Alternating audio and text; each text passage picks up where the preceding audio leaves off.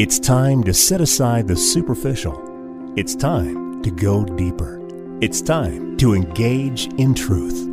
Here's John Bornschein.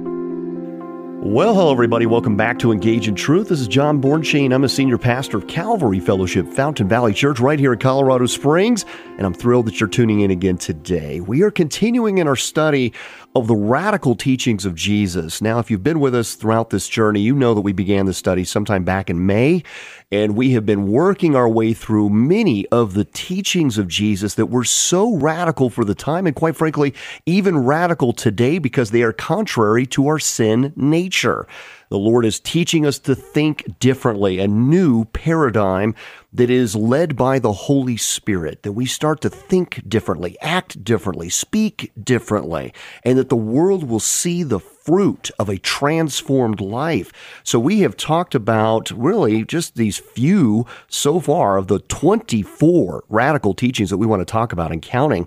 We've only been through three. So far, we have covered turning the other cheek loving our enemies and choosing allegiance to Jesus Christ, God over money. And you can't have two masters. So it's been a wonderful study thus far. If you have missed any of these, you can go back to calvaryfountain.com this is a ministry of Calvary Fellowship Fountain Valley Church. And there at our website, we have all of these recordings for you. You can share them with your friends and family alike and even download sermon notes all right there at your fingertips. So to help me in this wonderful study of God's Word, as always, here in the studio, Dr. Steve Ford is with me. Dr. Ford, welcome back to Engage in Truth. Thank you, John. This is this is so great. It, it struck me as you were speaking that if Jesus went the same pace that we're going, he would have had to live to at least 50, I think, before he could get through these various teachings. But just how wonderful that he has given them to us to know his heart Amen. and what it looks like to be a true disciple of Jesus Christ. And just as, as we like to quote, as John the Baptist said in John 3.30, he must increase, we must decrease. Amen. That's right. You know, I, I, just a, a, little side caveat note here. Uh, when you when you talk about the pace, I, I do love that we are able to go deeper in Amen. God's Word, exploring Amen. it verse by verse, and and really adding in some of our own life journey as we have been also convicted by what we're reading in our studies on Sundays. We are uh, going through the Olivet Discourse of uh, Matthew chapter twenty four and twenty five, and of course we're going through all of the Gospel of Matthew verse by verse.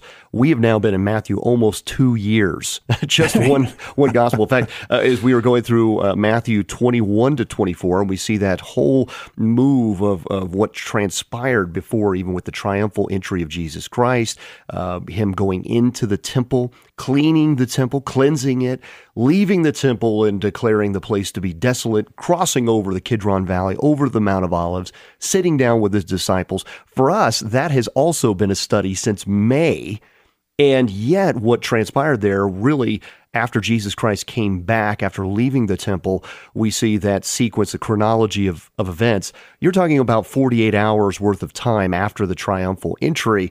But for us, it took months now to go through that. And only, only by studying Jesus Christ can you spend months for something for Him that took maybe one day. Yeah. And that's just because what he gives us is so rich in content. I mean, this, after all, is God in flesh. And every single word that he gives us, we could hang on to, unpack over and over again, and find that we will read it time and time again. And it's even more rich with more depth than the first time we read it. That, that's the power of the the Word of God, that it's sharper than a two edged sword. So, Dr. Ford, as we were talking about these wonderful things of our study today, of not worrying, not being anxious, uh, that we didn't even get into our study really last week because we were talking about the sovereignty of God.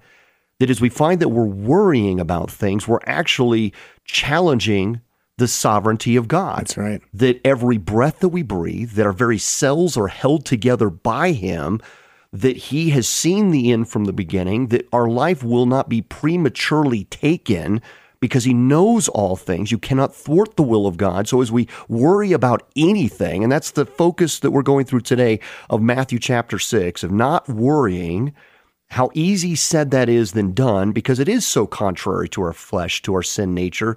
So, Dr. Ford, could you kick us off our study here today of Matthew chapter 6 as we begin to unpack now what seems so simple and yet seems so difficult to actually to to do in an obedient act as the Lord commands us, not suggests right. that we not commands, worry. Right. exactly. Not a suggestion. So this is Matthew 6, 25 to 34. And in the words of our Lord and Savior Jesus Christ, he says, Therefore I say to you, do not worry about your life, what you will eat or what you will drink. Now about your body, what you will put on. Is not life more than food and the body more than clothing? Look at the birds of the air. For they neither sow, nor reap, nor gather into barns, yet your heavenly Father feeds them. Are you not more of, val- of more value than they? Which of you by worrying can add one cubit to his stature? So why do you worry about clothing? Consider the lilies of the field, how they grow, they neither toil nor spin. And yet I say to you that even Solomon in all his glory was not arrayed like one of these. Now if God so clothes the grass of the field, which today is, and tomorrow is thrown into the oven, Will he not much more clothe you, O you of little faith? Therefore do not worry, saying, What shall we eat, or what shall we drink, or what shall we wear? For after all these things the Gentiles seek. For your heavenly Father knows that you need all these things.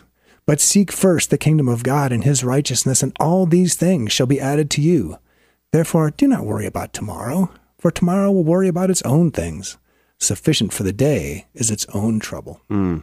And again, I, I don't read anything in there, Dr. Ford, that says, I'm inclined here to suggest to you right. that you not worry right. about these things. Uh, but here he says, do not worry. Uh, don't worry about what you're going to eat. Don't worry about what you're going to drink. Don't worry about what you're going to wear really highlighting the fact, uh, and here you know, speaking obviously to the Jewish people and saying that you're surrounded by this. He's not just calling out that it's just a Gentile problem; it's a people problem, and they were in the system of Babylon. And here to the the people who are receiving this message, they were to be set apart. You were a chosen people. You were supposed to act differently from the world, but you just acclimated right into it. And we see those warnings even earlier on in the Old Testament, especially through the prophets, as they were told, be set apart. Don't go to Tyre. Don't buy from them. Don't go to the mall, basically, of the ancient world and, and just be entertained and dining in and partaking in Babylon, but be set apart from these things. And now he's not condemning clothing. He's not condemning anything of of maybe even uh, some luxuries as we might uh, explore those things, but rather coming against the fact that here we're just talking about what we might consider to be necessities. And it's not just, uh, as we mentioned last week, steak and ale or taking it up a notch. Here we think with a materialistic mindset, and that's what he's addressing here. It's interesting because he phrases this in a don't do this, but instead do this. Mm-hmm. Because sometimes it could be easy for me to get caught up in the don't do's. Right. When what he's really saying is if you if you seek the heavenly Father, if you seek to build his kingdom to love and serve and honor him, all these things will be taken care of for you. That's right. Amen. And it, it boy, this is a paradigm shift. Is really what this is. That if if if we truly believe in the sovereign authority of God, that we have to start to think a little differently there. That that I, I think that we think with such an external perspective, we fail to recognize that we're not a body with a soul. We're a soul with a body. That's right. The body is a mechanism. It is a vehicle by which we do the work of the Lord. It, would be the same type of uh, thinking that as you get into a car, the car has an objective or has a, a use. It has a purpose. You get into it to get you from point A to point B or wherever you're to go, and you have to fuel it up. You have to make sure there's air in the tires. You take care of the vehicle. Hopefully, if you take care of it, it, runs a good duration of time for you. But it is a mechanism that you use to accomplish an objective. And likewise, the body we've been given is simply a vehicle for us to do the work we've been appointed to. He wants to get us to think a little more inwardly here that it creates an outward response where everything by way of the law, especially in that system at that time with the Talmud and the Mishnah, everything became an exterior orientation. It was all about the appearance of goodness, the appearance of fulfilling the law, rather than an inward transformation that ultimately led to an ex- exterior transformation. Your body would follow however the mind was thinking, however the soul was responding to truth. And so, if we start to think differently, as Christ was doing, taking this right to the root of the matter, then suddenly it became I'm going to see a person for the person, not by the exterior, whether they have leprosy or not. Jesus was unintimidated by someone with leprosy because they're that would be like saying your car is rusty, therefore I can't talk to you. Right. No, that's just your car. that's just your body. I'm going to the person, and therefore whatever the body's condition is not going to distort or take away in any way from my mission objective. And so it's a different way of thinking about things. Now, how many people did Jesus touch and he let touch him who made him ceremonially unclean? Mm-hmm. And it also reminds me of you know, when you you're in uh, Samuel and you see Samuel interviewing the sons of Jesse, and it's like, oh, this guy's like he's tall and handsome. This is this is the guy. You know, and right. God's like, like, no, I don't look at the outside. I look at the heart. I'm like, I'm not like men. That's you know, right. I don't look at the outside. I look at the heart. And there was, you know, David with the heart that God loves so much. Yeah, and, and you know that's why I think he's saying you worry so much about. I've given you a mission to do, and you're thinking about I have to feed this vehicle that I am temporarily in. 1 Corinthians 15 talks about this. That there's one body for a terrestrial use. There's another body that God has given to us to be with Him forever and ever. And He likens it to, to if I recall, and, and, I'm taking this from memory here, but uh, 1 Corinthians 15, wonderful chapter, by the way, but He's talking about how certain created uh, animals that God has made, they have a body for the environment that they're in, uh, like a fish in the sea or birds in the air. It's simply a vehicle for the environment God has put them in. And rather than putting our entire emphasis and focus on tending to that temporary mechanism that we possess right now, rather we need to say, okay, Lord, I just just give me what I need to make this body function, what I need to make sure that it is clothed and stays warm. But rather than allowing it to dominate my thought and become my mission, it rather is a utility to fulfilling my mission. And so I, I, often have heard that this section of scripture, he's addressing materialism as though it's the new religion in our life. And you've thought about different ways we've been materialistic. We're certainly surrounded by that in Western culture. Materialism seems to dominate our way of thinking. Uh, you know, we're, we're buying things and immediately dissatisfied with them uh, not long after we've we've received it. Uh, you know, whether it's a new car, maybe that one lasts a couple months. Maybe the new pair of shoes that we just bought, well, maybe that one lasts a month. Uh, these things have very short shelf lives. I mean, we just don't put much to it. I, I still remember as a child uh, when my mother had uh, worked very hard, and she was a hardworking single mom often. And I remember when we received our very first color picture television. Okay, I'm not that even, I'm not that old. I just turned 46 this past week. Okay, but I still remember when the VCR came into our home. And then we upgraded to this 27 inch Zenith that took years to acquire. And then came the DVD player. Oh boy, you know, that was a pretty special. My mom, I remember when she got her first microwave. And I felt like we were the richest kids on the block, right? I mean, this was a big deal. But even with this technology, I, I mean, everything is designed obsolescence. I mean, you buy a smartphone today and they want you to, they want to sell you the next day on the latest thing that, oh, by the way, the one you just bought didn't come with. All right. So we're, we're indoctrinated with this lack of satisfaction that we're not content with anything. And so we think that this section of scripture is really addressing that lack of contentment and that we need to learn contentment. But it's bigger than that. I mean, here he's talking about don't worry about food, don't worry about attire. Why are you worried about these things? Your entire paradigm is about the external. And it's now time to think with an internal focus here. Jesus is telling us not to worry about food and clothing. And here is a society, we're thinking about how it's all about luxuries. And that's not what he's going to. We have this undue concern about material items. And, and, so it really starts to drill down very close to home here, Dr. Ford, that if we live most of our life addressing the physical needs in a physical world with a physical response, it's no wonder that our prayers lack effectiveness because everything is oriented to the exterior. I am sick, therefore, Lord, absolve my illness, rather than what is your kingdom plan in this, O Lord? Do I suffer that you be glorified? Do I lose in this flesh that your kingdom be expanded? If we start to think differently outside of a physical realm, it will no longer be the physical that drives even our prayer life. Yes, we do have physical needs. Certainly, we get exhausted with ailments of this flesh.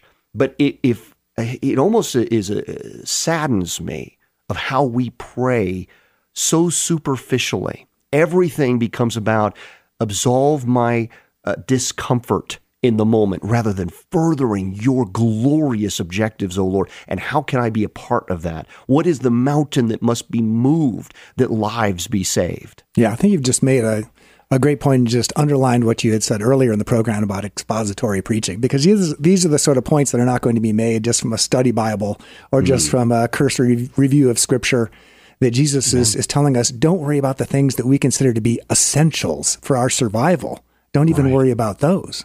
Yeah, and of course, he's not giving an excuse to not working. Amen. Um, you know, the Apostle Paul addressed right, that in Second Thessalonians. right, they were they were stopping working. They right. were thinking, "Oh, the, the, the return of the Lord is upon us. Have I missed it?"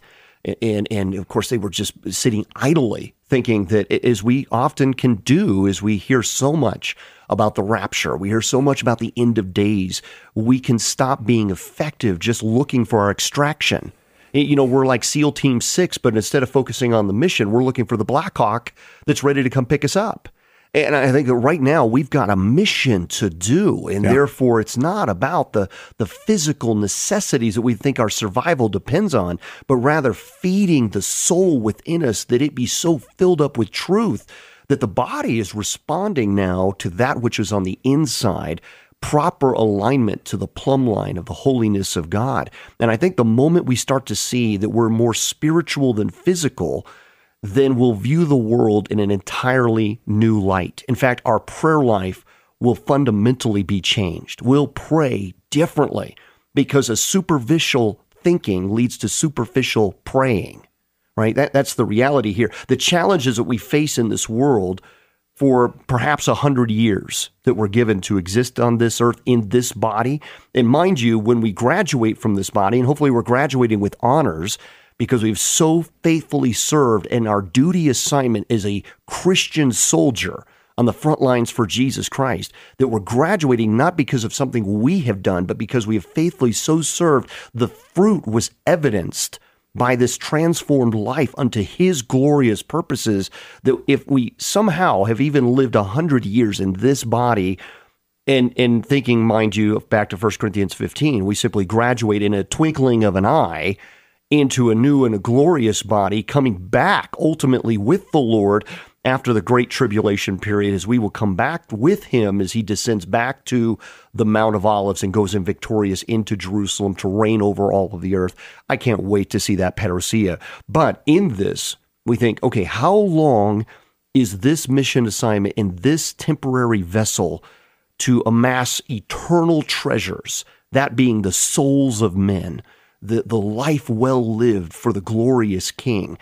if that's not our function, if you think about what we really stress about in this short period of time, that we navigate all of these things, it will compare to like the grain of a of one singular grain of sand on the base of the Pacific Ocean, right? I mean, the, by comparison to the contrasting it of eternity, what we really put our emphasis of all of our time and energies and worrying into is exhausting and does not contribute to the eternal story. And that's that's going to create then a, a necessity for us to think differently in this. And we wonder why we're so ineffective for the kingdom of God when our entire paradigm is so fixated on, on these temporary things that are here today and gone tomorrow. I, I think about cars that I have stressed about, things that I have labored over. And I, I mentioned in a previous broadcast, Dr. Ford, here, my son, bless his heart, he has now ordered an engine for a truck he has just acquired. We are back in the junkyard not a couple weeks ago. There's a U Pull and Pay just in South Colorado Springs, and we're back in the junkyard. And I'm walking through this. I can't help but see that these were the dreams of every person who amassed these vehicles at some point. They saved tirelessly. They made sacrifices at work, sacrificing time with family so that they could have that thing that is now sitting up on a jack stand being stripped apart for parts for other people's dreams.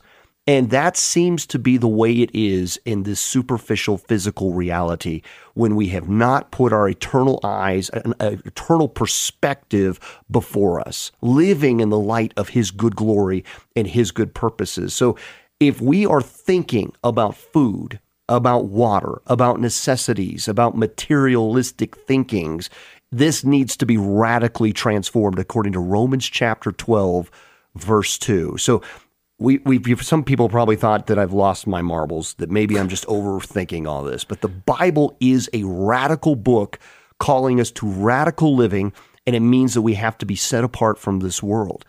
Again, it may not mean that we look like John the Baptist, but we start to spend everything differently. And that's why when we talked about money, that was just one aspect yeah. of our energies it, it's bigger than that. Yeah. It's an entire life that is lived for the glorious King. And with all these things, the Lord is calling us to radical freedom and radical blessing.